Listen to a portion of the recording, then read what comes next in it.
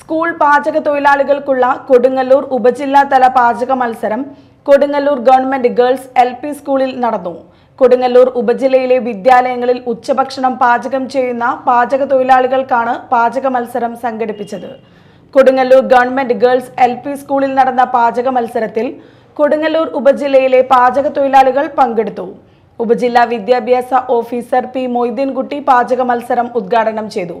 H M forum convener P A Naushad അധ്യക്ഷത വഹിച്ചു. താലൂക്ക് ഹോസ്പിറ്റലിലെ ന്യൂട്രീഷൻ സംഗീത ബോധവൽക്കരണ ക്ലാസ് നടത്തി.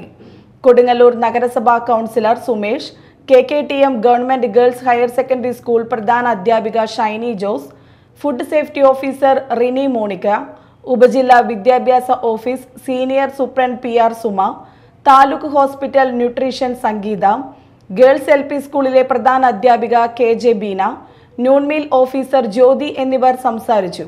ജില്ലയിലെ വിവിധ വിദ്യാലയങ്ങളിലെ പ്രധാന അധ്യാപകരും മറ്റു ജീവനക്കാരും പാചക തൊഴിലാളികളും പരിപാടിയിൽ പങ്കെടുത്തു. പ്രധാന അധ്യാപകരായ Sheena O S T S Sajeena K M Siji Ambilikkala Anjukumar Sreeja Jeena Saritha A U office ജീവനക്കാരായ Kavitha Mini P A Muhammad Rafi Simi എന്നിവർ നേതൃത്വം നൽകി.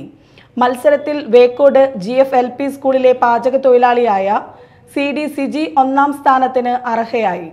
K K T M G G H എസിലെ മിനി കണ്ണൻ രണ്ടാം സ്ഥാനവും Eriyad S V L P സ്കൂളിലെ P K Rahmabi മൂന്നാം സ്ഥാനവും നേടി.